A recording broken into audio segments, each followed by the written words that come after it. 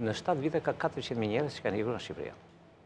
Ne zakonisht e kemi si zakon që raportojmë vetëm emigracionin, por harrojmë migracionin. Mhm. Pra, harrojmë dhe pjesën që kthehet. Po, regjia të ndihmojë me grafikët e tjerë se edhe këto të dhënat që kam në fund tani, janë të tilla që në 4 vitet e fundit janë rreth 200.000, po rrumbullakos, sepse shifra është e përafërt, 200.000 njerëz shqiptarë të cilët kanë janë larguar, pra kanë emigruar, po kemi dhe rreth njëqind e tetëmbëdhjetë mijë saktësisht të cilët janë migrantë, pra mhm. janë njerëz që janë kthyer nga emigracioni dhe që kanë po t'i shikosh pra në neto t'i shikosh shifrat, do shohësh që është një fenomen kompleks. Nuk mhm. është vetëm fenomen shqiptar, nuk është një fenomen vetëm që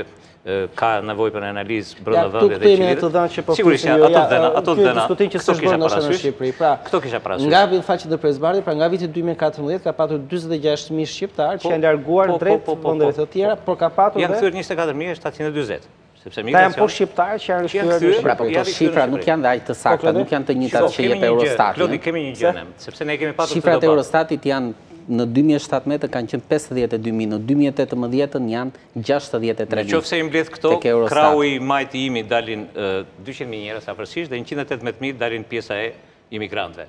Tani kemi një gjë ne në Shqipëri që s'e kemi bërë. Ne nuk kemi një regjistër të popullsisë që të kemi mundësi të bëjmë këtë identifikim, madje edhe përplasjet që kemi me raportet ndërkombëtare është pikërisht për kësaj mangësie. Por ne kemi mundësin... Fal, po ka një, një, më fal, në qoftë se mundem, po, pra, Instati ka këto të dhëna, Eurostati, i cili është instituti i statistikave të Bashkimit Europian, ka të dhëna të tjera. Dhe te ky numër, më po. fal që të ndërpres, është numri i personave që shkojnë dhe marrin rezidencë në një vend nga Bashkimi Europian. Nuk janë njërezit tremujor, domethënë dikush që shkon jeton dy tre muaj jashtë Shqipërisë dhe rikthehet në Shqipëri. Dhe shifra është më e lartë. Shifra është, domethënë, kësaj statistike Klod iu përgjigj Instati zyrtarisht. Pra në momentin që doli raporti dhe që patëm këtë lloj fërkimi, sepse patëm fërkim në shifra, atëherë Instati u detyrua që të përgjigjet në mënyrë zyrtare.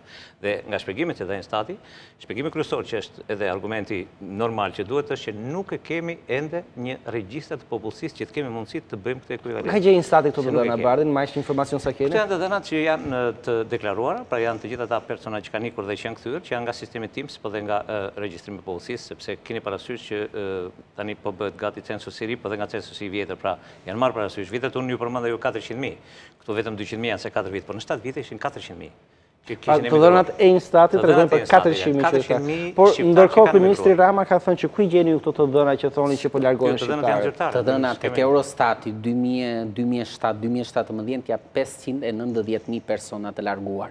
Të dhënat e 2018-s i shtohet dhe 63.000, kështu që shkojmë në 653.000 nuk është, domethënë, nuk është shifra rreth 400.000, po është 653.000. Unë mora 7 vjet, ju morët 10 vjet, Klodi, domethënë kemi 2